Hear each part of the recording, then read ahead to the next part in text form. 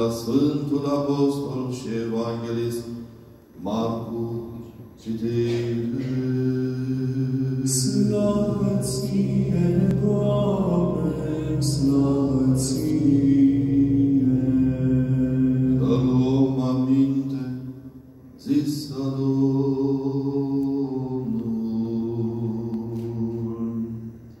Oricine voiește să vină după mine, să se lepede de sine, să-și ia crucea și să urmeze mie. Căci cine va voi să-și scape viața și o va pierde,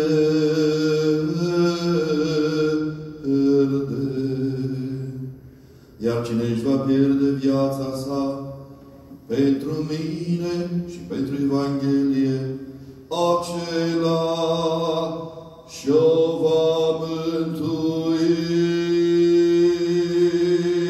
Căci ce folosește omului să câștige lumea întreagă dacă își pierde sufletul? Sau ce ar putea să dea omul în schimb pentru sufletul său? Căci ce de cel ce se va rușina de mine și de cuvintele mele neamul acesta desprânat și păcătos.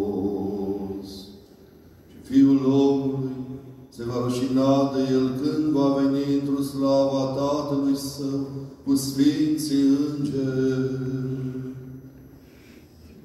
Și le zicea lor, adevărat grăiesc vouă, că sunt unii din cei ce stau aici, care nu vor gusta moartea până ce nu vor vedea împărăția lui Dumnezeu.